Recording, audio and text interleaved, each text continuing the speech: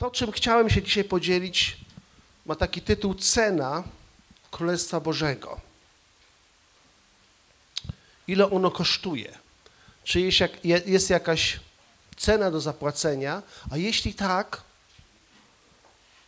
to kto i za co płaci? Trzeba być bardzo y, konkretnym w miarę możliwości. I zaczniemy od tych dwóch obrazów, które są zapisane w Ewangelii Mateusza w rozdziale 13. Trzy wersety, 44, 46, 45 i 46.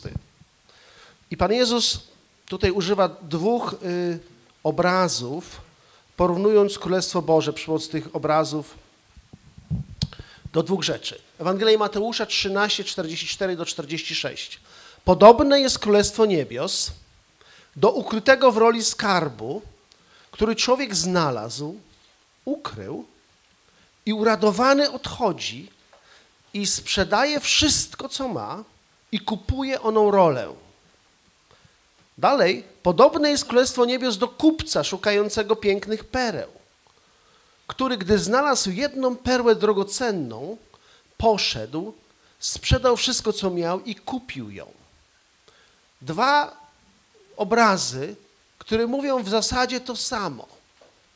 Mówią o tym, że Królestwo Boże ma wielką wartość, jest cenne i że człowiek może odkryć to jako niesamowity skarb, który jest tak wartościowy, że oddaje wszystko, żeby ten skarb należał do niego. Drogocenna perła albo skarb ukryty gdzieś w jakiejś ziemi. I oczywiście, jak czytamy takie fragmenty Bożego Słowa, musimy zadawać sobie pytania, o co chodzi, co Pan Jezus chciał powiedzieć i w jaki sposób to się stosuje do mojego życia. Nie czytamy słowa tylko po to, żeby zabłysnąć jego znajomością, ale żeby zastosować do swojego życia. To pytanie, które od razu można postawić, to jest tak, dlaczego, brzmi w ten sposób, dlaczego ten człowiek, o którym mówi Pan Jezus tutaj, musiał sprzedać wszystko. Dlaczego wszystko? Dlaczego nie było tak, że sprzedał połowę albo dużą część swojego majątku, ale wszystko trzeba było sprzedać, spieniężyć, żeby pozyskać tą drogocenną perłę albo skarb ukryty gdzieś, gdzieś w ziemi. I kiedy mówimy o cenie do zapłacenia, jeśli chodzi o Królestwo Boże, to wszyscy wiemy, że tą największą cenę, podstawową cenę zapłacił Pan Jezus. To On nas odkupił, wykupił nas dla Boga, żebyśmy mogli znaleźć się w Jego Królestwie. Zrobił to, ponieważ nikt z nas nie był zdolny, żeby tą cenę zapłacić, wykupienia życia ludzkiego. To nie jest to, że nie chcieliśmy, to nie jest to, że Pan Bóg chciał nas wyprzedzić w swojej hojności, w swojej łasce, ale to jest to, że nie jesteśmy w stanie. Nie mamy takiej, nie mieliśmy i nie mamy takiej możliwości, żeby zapłacić za samych siebie, wykupić siebie z ciemności i znaleźć się w Bożym Królestwie. To mógł zrobić tylko Pan Jezus. Więc jeżeli On za to zapłacił i dzięki tej cenie i tej ofierze, którą On złożył z siebie, znaleźliśmy się w Bożym Królestwie, to co zostaje nam do zapłacenia? Jaki jest sens tego obrazu, którego używa Pan Jezus? O co w tym chodzi? Bo na pewno nie mamy nic do dodania, jeśli chodzi o tą ofiarę, odkupieńczą ofiarę, którą złożył Pan Jezus.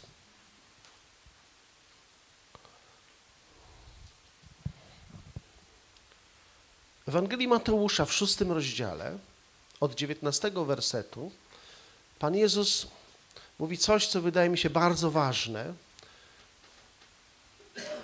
Ten fragment, ja bym powiedział w ten sposób, zawiera prawo duchowe i dobrą radę. Prawo duchowe i dobrą radę.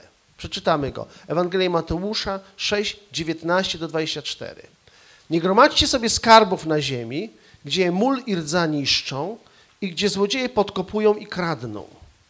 Ale gromadźcie sobie skarby w niebie, gdzie ani mól, ani rdza nie niszczą i gdzie złodzieje nie podkopują i nie kradną. Albowiem gdzie jest skarb Twój, tam będzie i serce Twoje. Światłem ciała jest oko. Jeśli tedy oko Twoje jest zdrowe, całe ciało Twoje jasne będzie.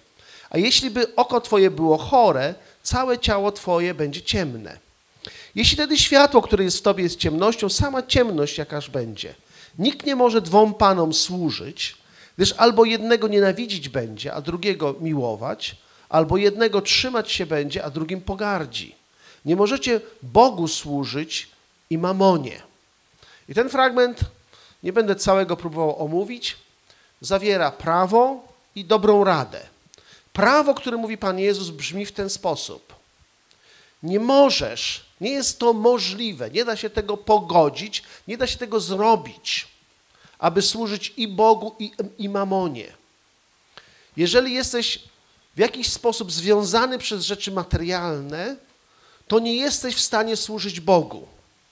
A jeżeli chcesz służyć Bogu i, za, i naprawdę służysz Bogu, to po drodze musiało nastąpić uwolnienie od związania rzeczami materialnymi. To jest prawo duchowe. Natomiast dobra rada, którą wcześniej Pan Jezus mówi, brzmi w ten sposób. Nie gromadźcie sobie skarbów tutaj na ziemi, ale podejmijcie działanie, które zacznie gromadzić skarby w niebie. I wierzę, że te, te dwa fragmenty są ze sobą powiązane.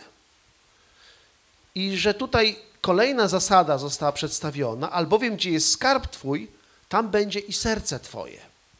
Serce to to miejsce, z którego wypływają nasze decyzje, nasze pragnienia tam są. Więc jeżeli chcemy, żeby mieć właściwe pragnienia, to trzeba we właściwym miejscu zrobić lokatę. Trzeba zainwestować w to miejsce, które pociągnie czy skieruje nasze serce w właściwą stronę. W uproszczeniu, że tak powiem, yy, mówiąc, chodzi o to, z tym stosunkiem do rzeczy materialnych, Pan Jezus dalej objaśnia, że są dwie opcje, które sprowadzają się do jednego, y, tego krótkiego określenia, służenie mamonie. Jedna opcja to jest pozyskiwanie nowych dóbr. Jesteśmy, żyjąc w Polsce, która doświadcza niesamowitego błogosławieństwa materialnego, naprawdę to jest niewyobrażalne, co się dzieje teraz. Ja wiem, że w Polsce się tak nie mówi, ale to jest niewyobrażalne. E, ja, ja y, mogłem przenocować y, dzięki gościnności Wiesława i Wandy i tam rano wstałem, dostałem super śniadanie i mogliśmy sobie porozmawiać na temat kawy. Kiedyś kawa, ja pamiętam te czasy, to był jeden rodzaj, który trzeba było upolować. I kawę się podawało y, gościom ważniejszym. Zwykły gość dostawał herbatę. Dzisiaj, jaką długą drogę odbyliśmy? Dzisiaj kawa nie jest problemem. My się zastanawiamy, którą kawę. W jaki sposób zaparzoną więc y, ekspres, ekspres, ekspres jest passé, moje dzieci by powiedziały. Tato teraz Aeropress albo y. Hipsterzy tylko taką kawę piją. Jak mi moje dzieci powiedziały, ile ta kawa kosztuje, pomyślałem sobie, na razie smakuje mi zwykłe espresso, gdzieś kupione w zwykłym sklepie. Ale chodzi o to, że opływamy w luksusy. Ale jest pewna cena. Jest presja, żeby pozyskiwać ich coraz więcej, więcej, więcej, więcej. Ona jest wbudowana w to nasze społeczeństwo. My jesteśmy programowani do zwiększania wydajności, do coraz większych osiągnięć. To, to nawet tempo jest takie, że brakuje czasu na refleksję. A więc ogromna część społeczeństwa, nie wiem jak duża, bo nie wszyscy oczywiście, bogaci się. Ja wiem, znowuż, to nie jest popularne w naszym kraju. Mogą cię za to na ulicy pobić, ale jesteśmy coraz bardziej zamożni. Nie mamy podstawowych, większość z nas nie ma podstawowych problemów, myśli o tych takich dodatkowych rzeczach. Jak sobie dogodzić. Jest też część społeczeństwa, myślę, że mniejszość, która zmaga się z niedostatkiem w podstawowych rzeczach.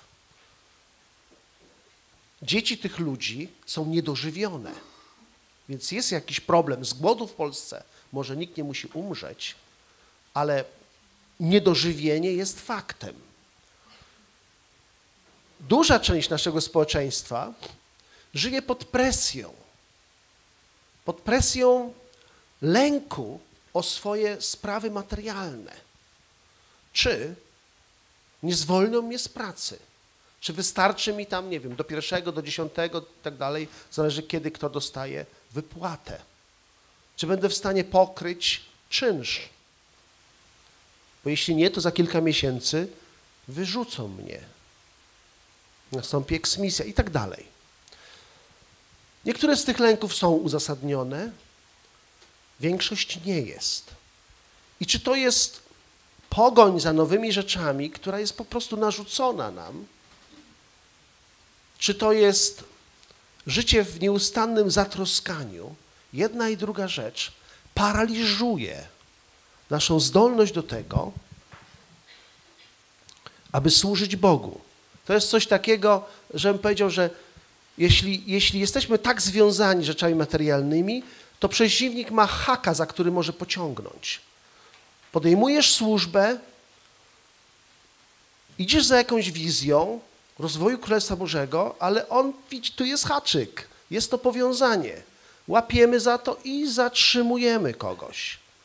Jak zatrzymujemy? Jest ostry i łagodny sposób. Ostry to spowodować problemy materialne, żeby on się musiał tym zająć. Łagodny to delikatnie ugotować jak żabę, żeby tam cały czas tylko myślał co więcej, co więcej, co więcej i te sprawy królestwa bardzo szybko odchodzą gdzieś na bok.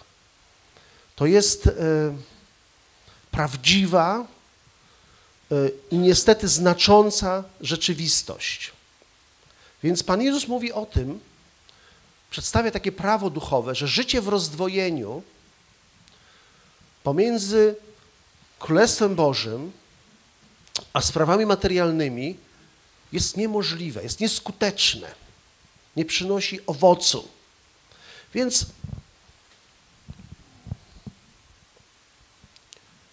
jeszcze jeden fragment, może przeczytamy Ewangelię Łukasza 8:14. To jest y, objaśnienie tego podobieństwa o czterech rodzajach gleby. Ten trzeci rodzaj gleby to ziarno, które wpadło pomiędzy ciernie. Ewangelia Łukasza 8,14. A to, które padło między ciernie, oznacza tych, którzy usłyszeli, ale idąc drogą wśród trosk, bogactw i rozkoszy życia. Zwróćcie uwagę, trosk, a później bogactw i rozkoszy życia. Czyli lęku, a po drugiej stronie dogadzania sobie. Na, na to samo wychodzi. Ulegają przyduszeniu i nie dochodzą do dojrzałości. Więc mówiąc bardzo prosto, nie chodzi o to, abyśmy nie mieli rzeczy materialnych, bo one oczywiście są potrzebne. Nie byłoby mnie tu, gdybym nie mógł przyjechać samochodem, nie mogliśmy się spotkać, gdyby nie piękny budynek i tak dalej. Ale chodzi o to, żeby one nie miały nas. Możemy mieć jak najwięcej rzeczy materialnych pod warunkiem, że one nie, nie wzięły nas w swoje posiadanie. To jest coś, o czym Pan Jezus mówi, a to taki, przepraszam za niską jakość, takim obrazkiem ilustruje. Mamy z lewej strony Królestwo Boże, ten sam obrazek co wczoraj, symbolizuje to korona. Z prawej strony Królestwo Ciemności i człowieka, który stoi w rozkroku. Jedną nogą w Królestwie Bożym, jedną nogą Królestwie Ciemności. I nie chodzi mi o to, że on nie jest zbawiony, że nie należy do Jezusa, że nie ma z nim relacji ale chodzi o to, że nadal ma silne powiązania w miejscu, w którym ktoś inny y, rządzi. I to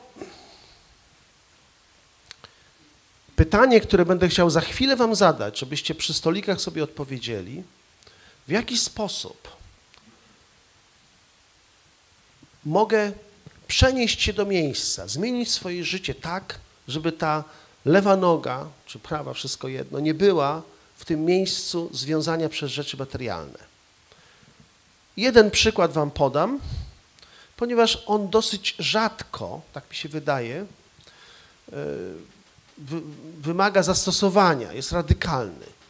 To jest przykład takiego młodego, bogatego człowieka, który był pobożny, z którym Pan Jezus miał spotkanie zapisane w Ewangeliach. I w tym przypadku Pan Jezus, y, i nie mówi tego do każdego, ale do tego młodego człowieka zaproponował zastosowanie terapii szokowej. Czyli idź i sprzedaj wszystko, co masz, rozdaj ubogich, będziesz miał skarb w niebie, chodź i naśladuj mnie. E, wiecie, naprawdę nie chodzi tutaj, myślę, że trzeba jasno powiedzieć, nie chodzi tu o wielkość poświęcenia. Nie chodzi o to, że on miał zasługę, bo złożył ofiarę ze swojego całego majątku, który posiadał. Myślę, że chodzi o to, że w przypadku tego młodego człowieka to była, to była jedyna metoda, jedyne lekarstwo, które mogło uczynić go zdolnym do naśladowania Jezusa Chrystusa. I później Pan Jezus mówi, że to jest, że jeśli ktoś jest zamożny, jest w tym miejscu takiego związania z rzeczami materialnymi, to cudu potrzeba, który po ludzku jest niemożliwy, żeby w ogóle wszedł do Bożego Królestwa. Porównuję to do przeprowadzania wielbłąda przez ucho igły. A więc sprawa na pewno jest y, poważna.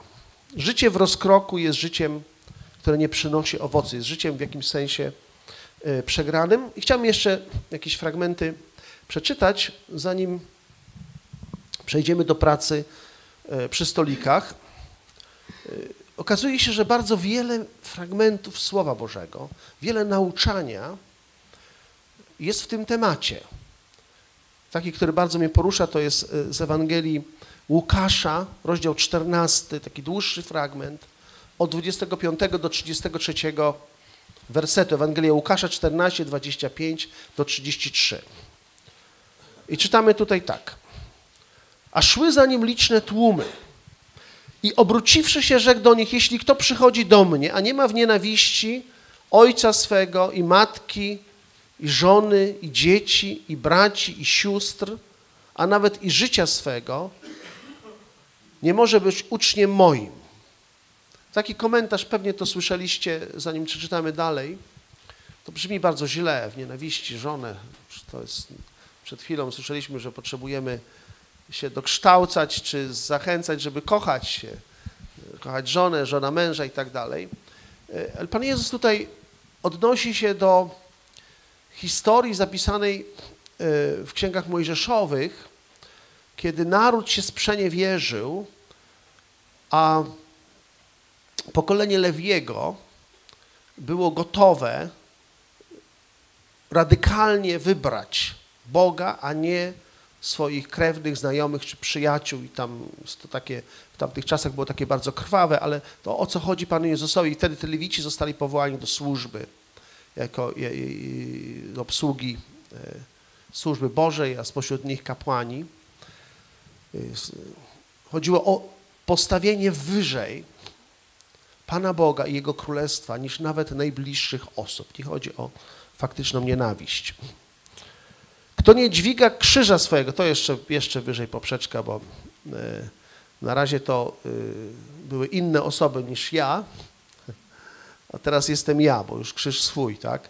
Kto nie dźwiga krzyża swojego, a idzie za mną, nie może być uczniem moim. Któż bowiem z was, chcąc zbudować wieżę, nie usiądzie najpierw i nie obliczy kosztów, czy ma na wykończenie, albo aby gdy już położy fundament, a nie może dokończyć, wszyscy, którzy by to widzieli, nie zaczęli naśmiewać się z niego, mówiąc, ten człowiek zaczął budować, a nie mógł dokończyć.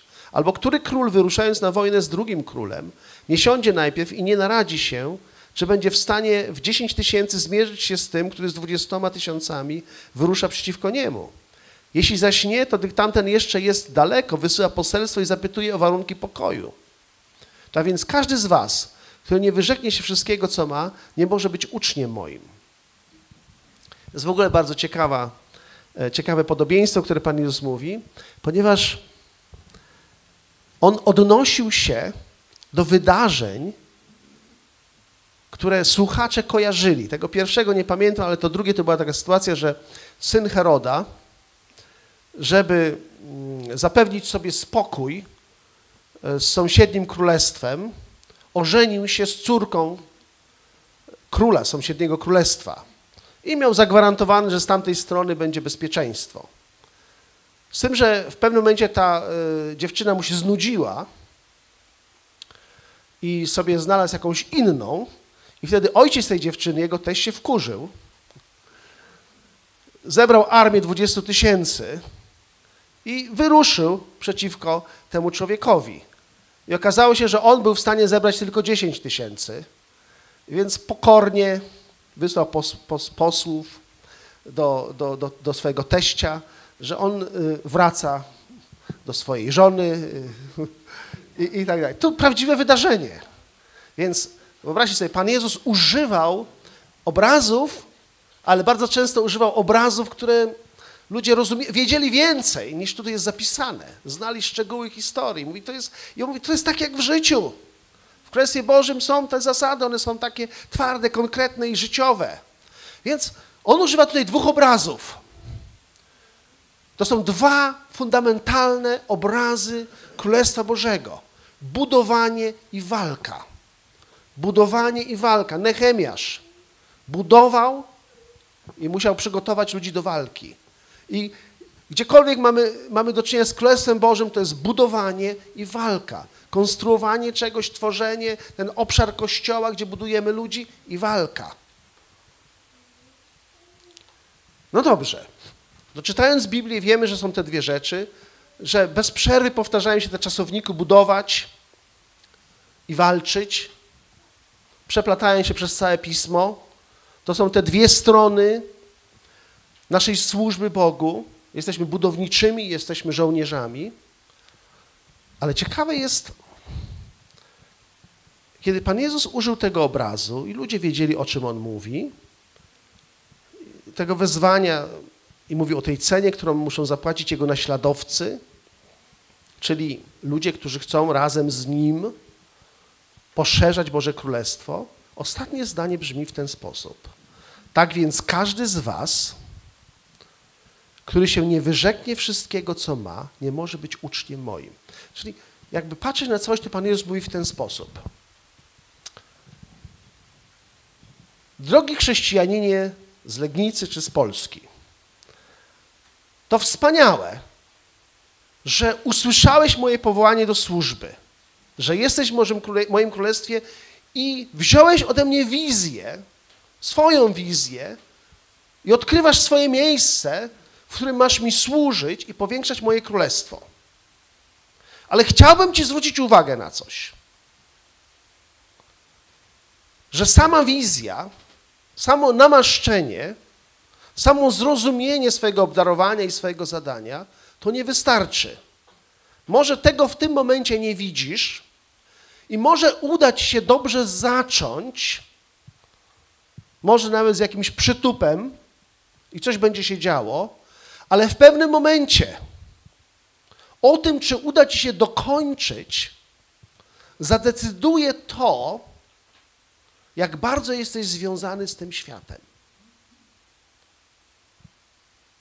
Więc przygotuj się, pomyśl o tym teraz. Żeby ci się udało, podejmij świadome decyzje, żeby uniezależnić się od nadmiernego wpływu rzeczy tego świata. To jest to, co Pan Jezus mówi. On jest, Pan Jezus w ogóle jest taki bardzo uczciwy w tym, co mówi. W tym podobieństwie y, o perle y, i o skarbie na roli, tam nie ma takiego słowa i musiał później. Nie. Jest napisane, on odkrył, poruszyło się jego serce i z radością, ale fajnie, i zapłacił cenę. Więc on zaprasza, a nie naciska i gdzieś tam wpycha. daje nam bardzo dużo wolności, ale jest też uczciwy. Idź za mną, tylko proszę bardzo. Ja od razu uprzedzam, jest pewna cena do zapłacenia. Nie chodzi o to, że musisz zapłacić za coś, tylko musi, chodzi o to, że musisz wydobyć się z czegoś, żeby mieć pełną wolność, żeby mi służyć. Więc dwa zajęcia Bożych słuch to jest budowanie i walka, a sukces w tym budowaniu i walce zależy, to jest paradoksalne.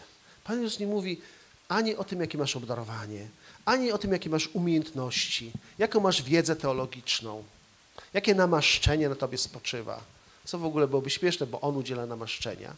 Tylko mówi o tym, jak jesteś związany z tym światem. I mówi, to będzie decydować o tym, czy uda ci się dokończyć, czy uda ci się odnieść zwycięstwo i czy uda ci się zbudować do końca. Gdy ja mówię o tym, to myślę sobie o tej sytuacji, którą sobie uświadomiliśmy, jak byłem przez ileś lat pastorem w Warszawie. Przez ileś lat można oglądać takie różne okresy, sezony, okresy w życiu Kościoła. I doświadczyliśmy okresy, okresu, które się fantastycznie wspomina, powiedzmy, któregoś razu, to było lata temu, niestety lata temu, w zeszłym wieku. E, nawiedził nas taki prorok, podróżował po Polsce, niektórzy się go bali, nie przychodzili wtedy, inni z kolei przychodzili, bo on potrafił wydobyć, wyciągnąć kogoś i zacząć opowiadać o jakichś rzeczach, czasami fajnych, a czasami ukrytych i niefajnych. Ci, którzy mieli cięższy kaliber do ukrycia, unikali spotkań. Więc ten prorok nas odwiedzał, widziałem, co on mówi i był taki wiarygodny, więc zacząłem słuchać bardzo uważnie, co on mówi. Któregoś razu powiedział, że za półtora roku od tego dnia liczba efektywnych członków tego zboru powiększy się dwukrotnie. No to ja bardzo starannie policzyłem, ile ludzi jest. Zapamiętałem datę i półtora roku później policzyłem ludzi. I mówię, no, no, no naprawdę, podwoiła się. Niesamowite. Więc mieliśmy taki okres. Później różni ludzie mówili różne słowo i ktoś powiedział, te przemiany ekonomiczne uderzą w was, będzie trudniej. I stało się trudniej. Stało się trudniej zgromadzić ludzi. Warszawie dzisiaj mamy taką rzeczywistość. Spotkania niedzielne mogą być jeszcze jakieś inne, ale są o wiele mniej liczne. Nie ma tak jak kiedyś, co ja rozumiem, że możemy zrobić y, serię wydarzeń, dzień po dniu, kilka dni pod rząd i pełno ludzi będzie y, na tygodniowym spotkaniu. Dlaczego ich nie ma? Bo ktoś inny ich ma. Bo mieszkają w dużym mieście, w dużym mieście się pracuje, na tym polega miasto. Się śpieszymy tam wszyscy. Nasze kilometry, yy, mamy te same ograniczenia prędkości co w Legnicy, 50 na godzinę w dzień, 60 w nocy w mieście, ale nasze kilometry są tak o 30-40% dłuższe. Jadę 50 na godzinę, ale według miary po mieście, policja tak samo jeździ jak może, yy, jak, że tak powiem, nadmiar samochodu nie przeszkadza, to byłoby 80 bo się śpieszymy ciągle. Nie mamy czasu, bo musimy lepiej pracować. Więcej y, produktu narodowego brutto wypracować. Więc później następna rzecz, którą uświadomiliśmy sobie, oprócz tego, że ludzie są związani i mniej czasu mogą oddać dla sprawy królestwa, że staliśmy się wygodni. No jak my się staliśmy wygodni. Rozmawiałem z Grzegorzem przed rozpoczęciem mówi o tym dojeżdżaniu z miasta do miasta. Ja przypominam przykład, on jest radykalny. Nawrócili się ludzie z, z Moniek, 200 kilometrów od Warszawy, w tamtym czasie żadnych S8 nie było, się jeździło pociągiem, nawet jakby nie mieli samochodów, nawet jakby droga była. Więc ci ludzie kilka razy w miesiącu, w niedzielę, wstawali o 3.30 rano, żeby zdążyć na pociąg o 4.30, żeby dojechać do Warszawy po dziewiątej, żeby być na dziesiątą na nabożeństwie. Około trzynastej było po nabożeństwie i mieli do wyboru albo pociąg o czternastej, po to, żeby gdzieś koło dziewiętnastej być z powrotem w Mońkach, Albo jeśli zostawali na obiad u kogoś, to o 17 i późno w nocy byli w Bońkach. W poniedziałek na siódmą rano do roboty. I tak przez ileś lat. Teraz się zrobiliśmy wygodni. Pan Jezus o tym mówi, bo to jest moja obserwacja. To wygoda, to zadbanie o siebie powoduje, że nam się nie chce. Jesteśmy mało skuteczni, gdy chodzi o sprawę Królestwa Bożego. Więc jeszcze ostatni fragment chcę, chcę przeczytać. Nie wiem, czy zostało czas na tą pracę przy... Proszę trochę przesunąć. Y, przy stolikach. Objawienie 12:11 to jest bardzo radykalne miejsce, gdzie czytamy o tej walce, a oni zwyciężyli go przez krew baranka. To Pan Jezus dla nas uczynił. I przez świadectwa swojego. Okay. Wszyscy mamy historię do opowiedzenia, tylko trochę odwagi, żeby je powiedzieć. Ale trzecie jest mocne. I nie umiłowali życia swojego tak, by raczej je obrać niż śmierć. Ja powiem, nie chodzi o to, żebyśmy wszyscy zostali męczennikami. Nie. To nawet w krajach, gdzie jest prześladowanie, to dotyczy pewnego tylko niewielkiego procentu ludzi. Chodzi o to, co jest na pierwszym miejscu. Chodzi o to, żeby bardziej sobie cenić wieczność niż doczesność. Pytania, które pojawiają się, jak wygląda Twoja nadzieja wieczności? Zakończę taką y, obserwacją. I powiedzcie, czy się zgadzacie ze mną, czy nie. Modlimy się o różne rzeczy, zabiegamy o różne rzeczy w ramach Królestwa Bożego. W naszej relacji z Panem Bogiem. Nie umiem podać tego w liczbach, ale z całą pewnością 90 kilka procent naszego zainteresowania Bożym działaniem dotyczy rozwiązania problemów tutaj i teraz. Żeby ktoś był uzdrowiony, żeby znalazł pracę, żeby tutaj, a nawet jak są przywódcy i pastorzy, oni mówią, chcemy tutaj i teraz mieć większy kościół. Wszystko tu i teraz. Prawie wszystko tu i teraz. Malutki procent naszego zainteresowania naszych modlitw, naszego zabiegania dotyczy tego, czego nie zobaczymy tutaj, ale dotyczy wieczności. Jeśli się na chwilę zatrzymać, to chcę powiedzieć, że większość naszego istnienia spędzimy w wieczności, bo wieczność to jest zawsze wielokrotnie, nieskończenie więcej na, od, od jakiegokolwiek, nawet najdłuższego czasu życia. Nawet jeśli ktoś tu 100 lat będzie żył, to i tak wieczność to jest więcej. Coś musi się zmienić, gdy chodzi o nasze myślenie. Więc,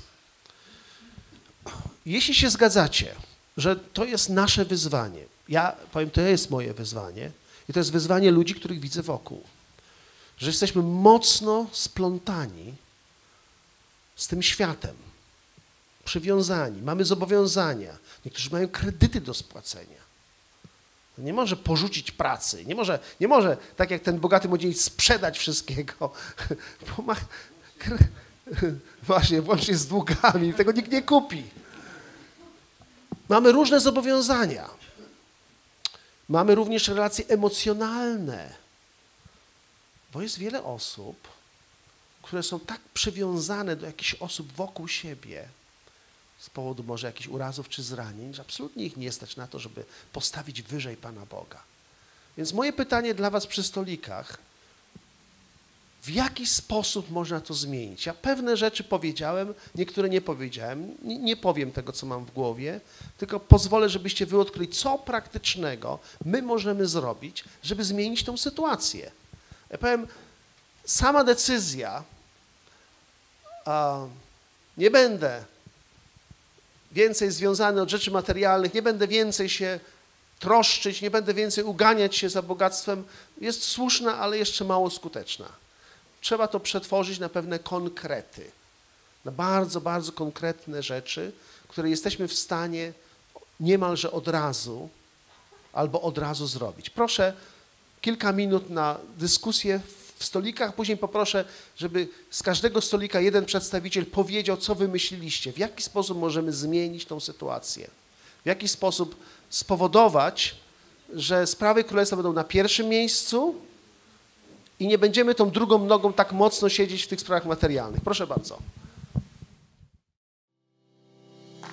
Witajcie na kanale Inna Droga. Jeżeli jesteście tu pierwszy raz, zasubskrybujcie ten kanał. Jeżeli chcecie być na bieżąco z materiałami, jakie umieszczamy, wciśnijcie ten dzwonek. Do zobaczenia.